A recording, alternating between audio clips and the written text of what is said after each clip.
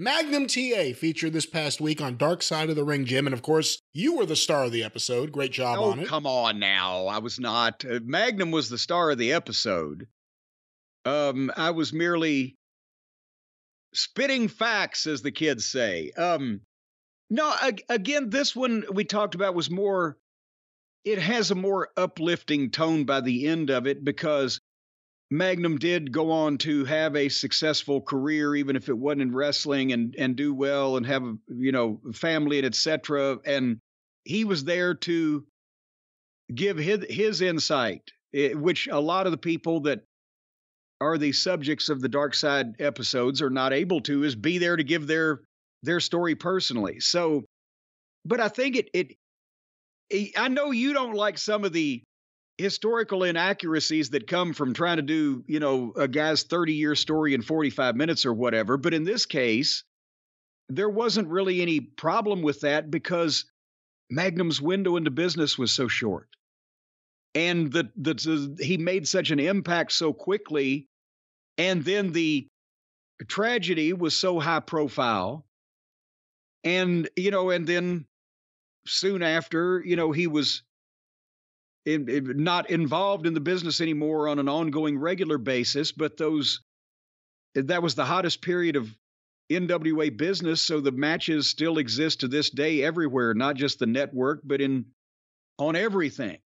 So it, it's like they just really had to tell the the brief story of how he got in the business his meteoric rise and the crash and that was a more linear story easier for people to understand but tell me what you thought of it. Besides blowing me, come on, we're not Uncle Dave and fucking Alvarez. You're not a trained chimp. You don't. You don't have to tell me I was the star. I could. I can be the best friend. No, you're the best one in all these things. I mean, being very honest with you, I don't know why Jake was in this. Jake really didn't add too much. And when you think of Magnum TA's career, Jake wasn't around too much. Maybe I a think. minute in Florida, but no. I think they had done the sit down with him, and they just asked him, "What do you think of Magnum?" Yeah, I mean, I thought it was all right. I'm not a. I don't want to say too much bad stuff because you like these guys. I'm not a fan of their Oh, style. come on. I'm not a fan of their style, and I'm not a fan of. uh You mentioned I'm not a fan of the inaccuracies. The script has always been a problem, but maybe the worst thing about this show is Jericho as the narrator. And I understand the benefits of having a dual citizen, or more specifically, a Canadian citizen, as You the mean narrator for a Canadian production.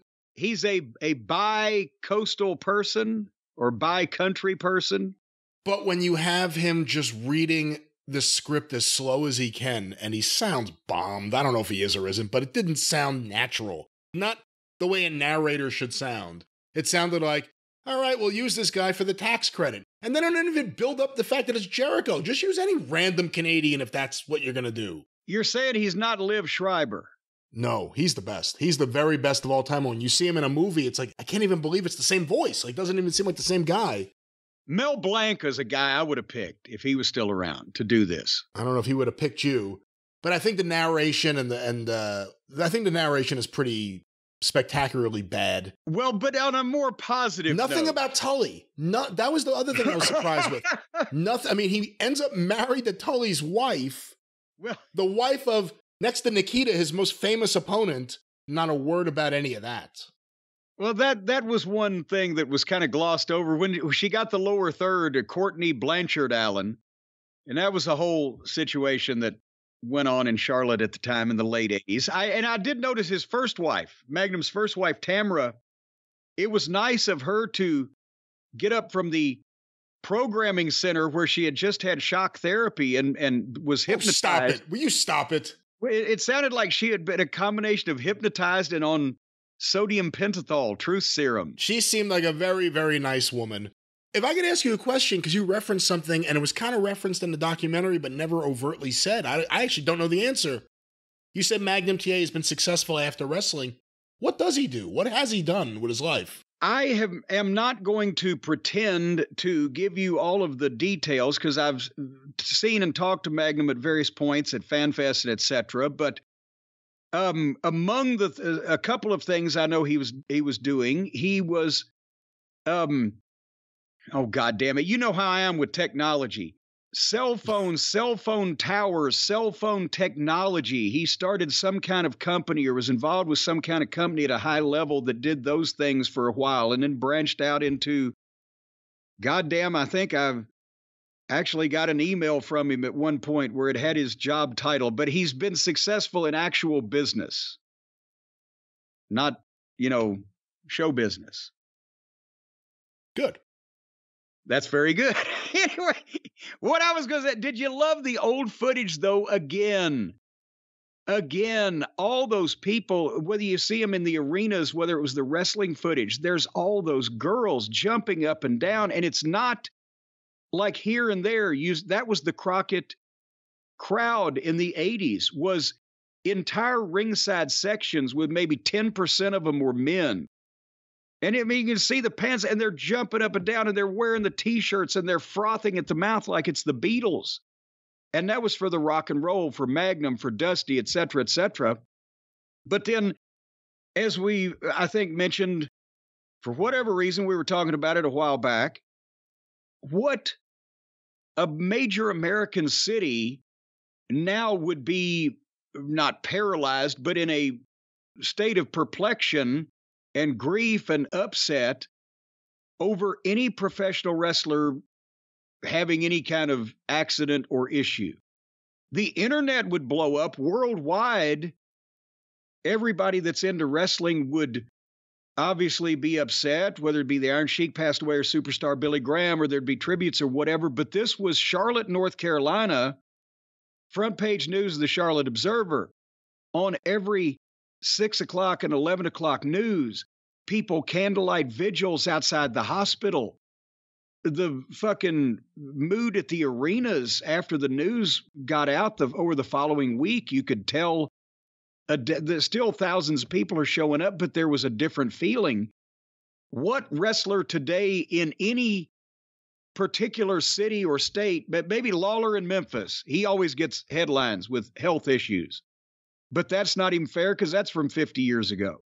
What wrestler today could make that kind of impact as Magnum's accident did on a, a Charlotte at that point was the second biggest city in the Southeast behind Atlanta. There's nobody of, of that level that's over to a mainstream audience.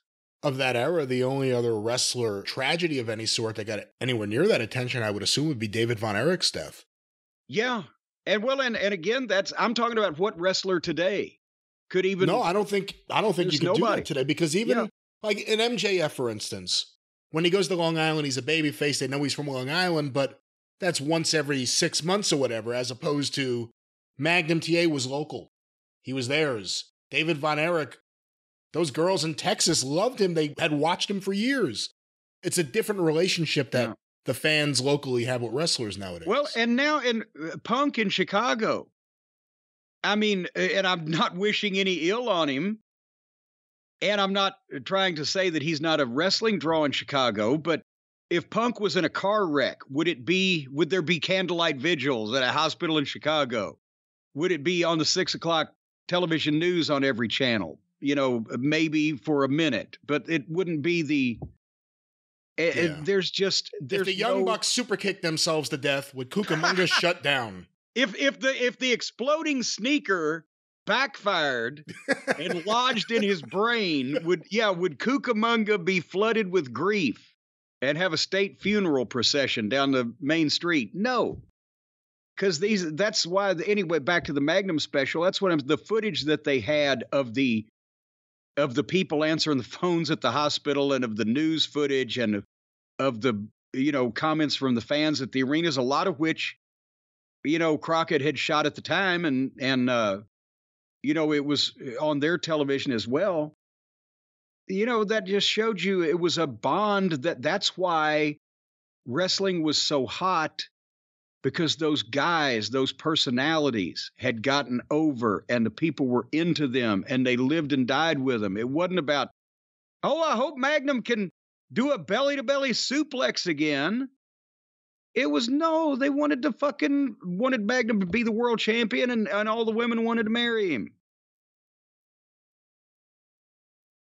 What'd you think of, and again, without making any comments about her appearance. What did you think about the wife saying how she found the Polaroids, or I assume Polaroids, photos in the luggage of other women? How many wrestlers, specifically in Mid Atlantic, did that happen to? Well, there was. at, at some points, there was the occasional picture or pair of panties or whatever that mistakenly ended up somewhere. But but no, that was, you know, it was kind of shit that took place, which is why the among the reasons that uh, you know, they split up at that. And you know, similar things were going on with uh, the Blanchard family, which is why that I don't want to talk about everybody's goddamn uh, it, it, uh, days of our lives. Um, but uh, but those things happened, and you know uh, sometimes if you wanted to fucking fuck with somebody, uh, somebody would fuck it. And of course, you'd, you'd you'd make sure that they found out the real story later on. But I've known a couple guys that actually fucking put as a rib, put a pair of panties in another guy's fucking bags and carry them home and see what would happen. Oh no! But then, but then, then they would cover their tracks because they would fucking let the fucking wife in on it, and then just fuck with the guy. Nevertheless, back to uh, the but dark side of the ring, Magnum TA. Just it was a, it was a nice, I thought, encapsulation of the story, the basic story that Magnum got screwed around by Buzz Sawyer when he wanted to break into business. He was a fan when he was a kid. His father, Dan, what a personality he had. He'd have made a good wrestler fucking 20 years before that. And he said, fuck it, I'm not going to take that line down. And got in a bit, Chase Sawyer got into business anyway. And in the space of five years, became the hottest babyface in the NWA under Dusty and the next world heavyweight champion before the accident. And that, you know, that was, and, and also, you know, in Mid South, I've talked about when we worked with him in 84, when they had teamed him up with uh, Wrestling 2. That was the first program we had in Mid South Wrestling. Even though he was green and, you know, he would manhandle you because he was so stout, and Bobby would come back to the corner like, oh, Jesus Christ. You could tell the people liked him and he had fire. He had that intensity overall that people got with and and whether he was selling even though he was green it looked legitimate. It looked like he was in a fight everything he was doing or when he made a comeback. The, then the when he was green the heels felt like they were in a fight uh, but you could tell he had something in and he was like 24 months in what did you think? Because there's always been that debate about whether or not he was going to win the NWA title and whether or not it would have happened at Starcade 86. What did you think of him actually telling the story of going out to eat and being told that we got the blessing from Bob Geigel? uh, again, this is also the same thing. David Crockett earlier in this thing goes, I'm David Crockett, I'm Jim Crockett's son. And then they showed Jim Crockett Jr. So yeah, it's well, to think he's Jim Crockett Jr.'s son. Actually, they showed both of the Jim Crockett's. They just showed Jim Crockett Jr. next to David. Wishes he was Jim Crockett Jr.'s son. They never, much younger. They never reference Jim Crockett Jr. He just says, "I'm Jim Crockett's son," and they put up the image of Jim Crockett Jr. but what do you think about the idea that, according to Magnum here, the title switch was agreed to? It was going to happen. Well, no, but but they, they it, you may have gotten that impression in the editing it they they said it was agreed to. He he was going to be the champion but it wasn't going to be at starcade 86 as we've talked about that was such a quick turnaround. I think they were going to hold it off and another thing they said in this program was that because jimmy garvin was on it they just started an angle between magnum and garvin because magnum had finished the best of seven series with nikita and while Jimmy says, "Oh, we were going to blow the territory wide open," it was already blown wide open, Jimmy. If we couldn't, the, we'd need to build bigger buildings at that point to get any more people in. But Magnum was going to have more triumphs uh, in shorter term things than the thing with Nikita over more of the heels in the company. I think before I would look at that point uh, more like a Great American Bash the following summer type of thing, where you can see Dusty wanting to replicate something maybe in Charlotte at the stadium where instead of Flair coming in in a helicopter, it's Magnum coming in with a fucking band of Hell's Angels. I don't fucking know. But it, this was the middle of October. Starcade was Thanksgiving into November. That's still quick. I think it was going to happen. Uh, it just, I don't think it was going to be that quick. Crockett Cup? Um, it, I don't, I don't know. Baltimore. What was that? Great, April '87. Yes, Baltimore would have been a great location, and it would have brought the house down. But I think to put the belt on Magnum, Dusty would have wanted it to not be in the middle of a two night tag team tournament that's labeled as such. It would be, remember, he always labeled Great American Bash the price of freedom or whatever. It would have been something on a big show, whether it be Starcade or Great American Bash or something, where he could label it after Magnum's Quest. You know, it, it, Dusty always named shit. Remember when he had a loser leave town match in Florida with him and whoever? It was the last tangle in Tampa. And uh, so, whatever, uh, Dusty loved Magnum and he would have wanted to make that. Remember Starcade 86, Night of the Skywalkers? That was the subtitle because, you know, the, the scaffold match was the draw. The night, the year before Starcade, The Gathering, because they'd come on the idea of the double location. We're going to sell out Atlanta and Greensboro. And the gathering of the fans. Dusty loved themes.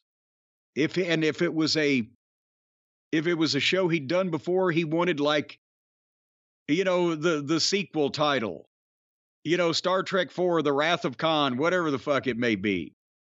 So I think it would have been a show built somewhat around the theme of Magnum finally climbing the mountain. And you think it probably would have been at the earliest around the time of the Great American Bash? Well, because think about this after Starcade, I mean, again, the Bunkhouse Stampede was a Battle Royal theme thing that went through Christmas. And then the Crockett Cup, just three months later, was the next big major show that they that they did at that point. And again, Crockett Cup, two nights in the same location, massive house, great, but it's themed after tag teams. And then the bash would have been the next thing, the next big series.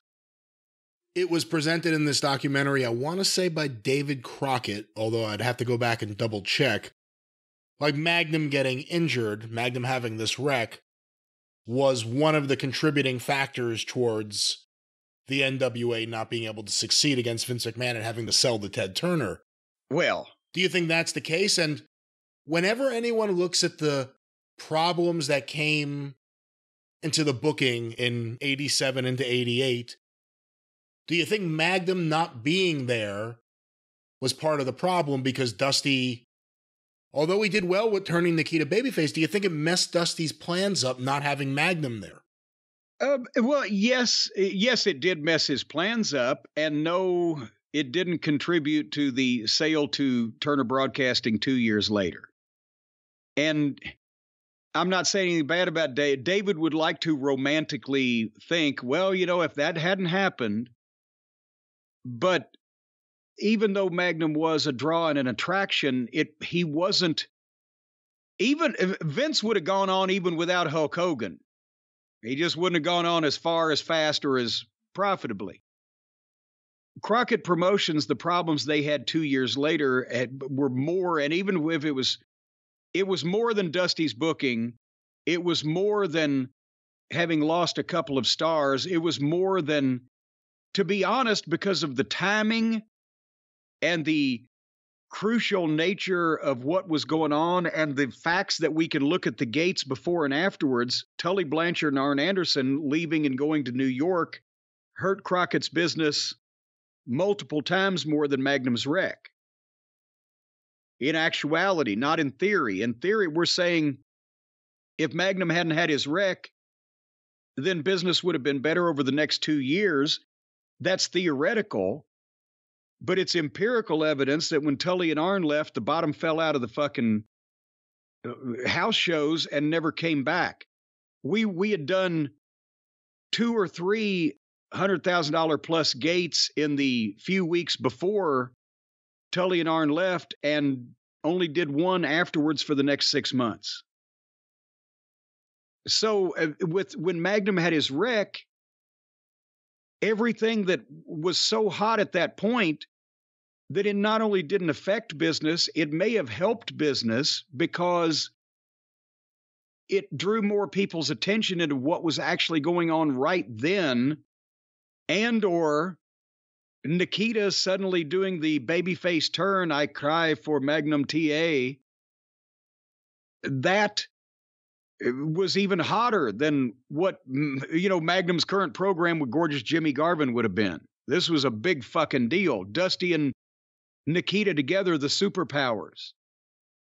So it screwed up the plans and a lot of the long term but it actually goosed business at the time. Whereas two years later, I mean, they still had Dusty, they still had Flair, they still had a lot of people, but the problems that Crockett ran into, as we've documented on this program umpteen times, were more business infrastructure oriented and interference from Vince sabotaging the pay per view clearances and locking them out of a lot of the buildings.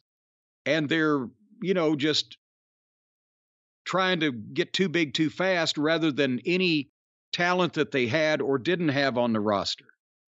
How different do you think Magnum TA's career would be if Barry Windham hadn't jumped to the WWF in 84? And aligned with that question, was Magnum TA the kind of guy, from your estimation, as someone who was there, that could have had a run that would have lasted a couple more years in Mid South, the way a Duggan or well, really, Duggan's the best example because he was a babyface at that time. The way that a Duggan or a Steve Williams or other guys did. Would Magnum have had that kind of run there if he hadn't gone to work for Mid Atlantic or Crockett? Yes. And he probably would have wanted it and stayed there for it. Because if Dusty hadn't called and said, Hey, I got this opportunity, Magnum had been figured in in Mid South since he got there and had evolved and learned. And it was the perfect for a guy like Magnum that was athletic and good looking and serious and coachable and a grown up adult. Even, you know, even with his age, sometimes they were and sometimes they weren't. Watts loved that kind of guy, and he saw money in him because he featured him the whole year. From the, the year we got there, he was the tag team champion when we got there. And by the time we left, he was the North American heavyweight champion, right?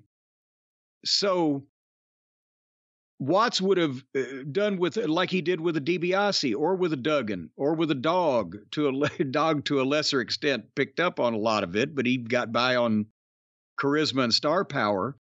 But he would have taught them the intricacies of the psychology of the business and et cetera. And the, he'd have been Magnum would have been in Watts's military school for wrestling and probably been a more experienced worker and more well-rounded than if than if he'd have than what he did, which was take Dusty's offer and jump in. And remember the belly to belly 60 second win streak was not just because he wanted to get Magnum over dominantly, it's because still as a single in that roster pool with the Flairs and the Blanchards and all those guys, he was still a little rough when he first got to Crockett, still a little green. So the idea was smash him over on television, and people will think he's so good he beats people instantly, and then have him put his time in in the house shows where the more experienced guys can work with him there.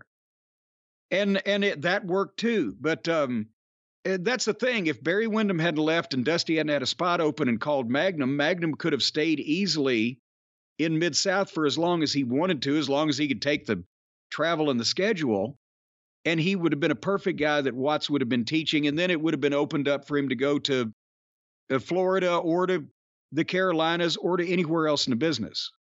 He would have been in demand. Or Watts would say, Sorry, we booked you into Dallas. Cancel your plans. well, it could have been Dallas too. but uh, but yeah, he could have gone anywhere. And, and and and I'll say one thing. he could have gone anywhere. I don't think Vince would have been after him. And the reason why, maybe, maybe he would have to some extent, but he would have changed him and ruined it if he had have.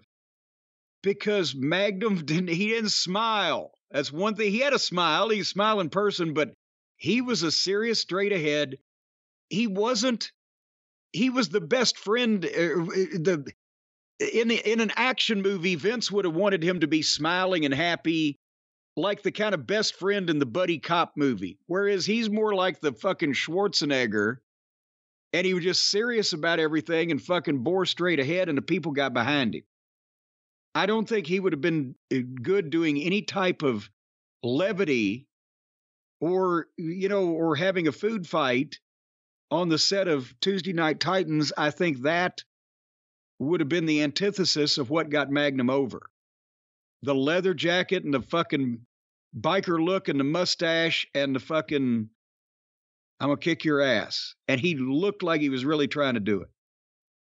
I guess one of the good things about watching this is the fact that it's a dark story. I mean, it's dark side of the ring, but Magnum, like you said, he seems good.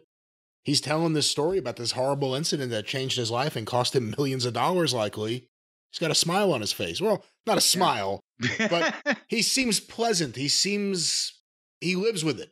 You know, it's not yeah. something that eats him up. And it, you know, it, I've seen him at various points um, where he does have the the scooter and or some things that you know that help him get around long distances or cross a building or whatever but he's and he still has limited you know if any use in his right arm but he's he signs with his left he's adapted and adjusted and you know he can get around and do a lot of the things that you know they said he was never going to fucking do and he's still doing them 35 years later well that's the magnum ta story from dark is that what it's called is it or is it just magnum ta Mag, well, it was Shattered. Shattered. Magnum TA story. That's right. Or the 80s Rolling Stones single, whichever one you want to refer to. Uh, Shattered was uh, not from the 80s. That was from. That was what? from. That was from um, some girls. I was like, lost the name of the album for a second. That came out in 78. 78. All right. Sorry about that, Chief. That was their oh. attempt to be a punk band in that song, but anyway.